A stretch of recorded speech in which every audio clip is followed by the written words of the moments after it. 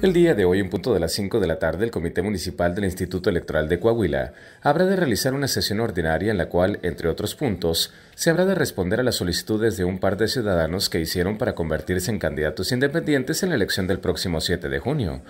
Aunque el veredicto se dará a conocer de forma oficial hasta ese momento, se dice que el IEC aceptará que ambos ciudadanos continúen adelante con su intención, pues cumplieron con todos los requisitos. En caso de que esto se confirme, tanto Luis Enrique Muñoz Villarreal como Macías Menera pasarán a la etapa de recolección de firmas, donde deberán de conseguir el apoyo de poco más de 2.000 ciudadanos nigropetenses que avalen su candidatura. Si logran dicho requisito, entonces podrían ya convertirse en candidatos de manera oficial, hacer campaña y participar en la próxima elección por un curul en el Congreso local.